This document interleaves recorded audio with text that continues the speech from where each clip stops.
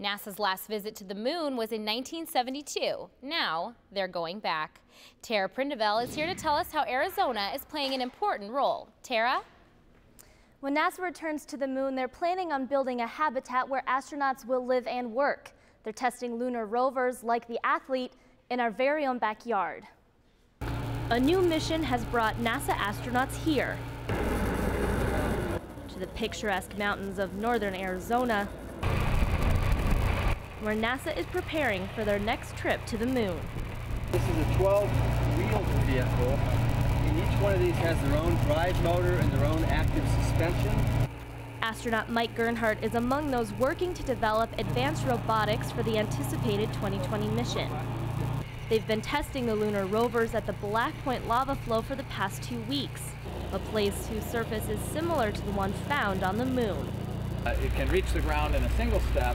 It can walk directly off the lander and, uh, and thereby transport that cargo anywhere uh, in the vicinity of the lander. The LER and Athlete are the two primary rovers. The six-limbed Athlete will handle cargo on the moon. This vehicle has a top speed of about walking speed, and, and so at that speed, uh, you could circumnavigate the moon. You go all the way around the moon One potential roadblock, Congress is currently reviewing the value of the space program. But Gernhardt remains focused on getting the vehicles into space.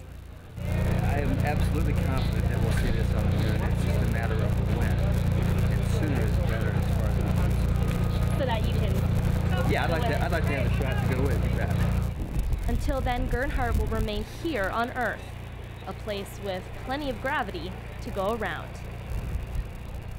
It'll be another 10 years until NASA gets these vehicles to the moon. They are prototypes, so expect a few tweaks here and there, but the Athlete and Lunar Electric Rover are pretty much ready to go.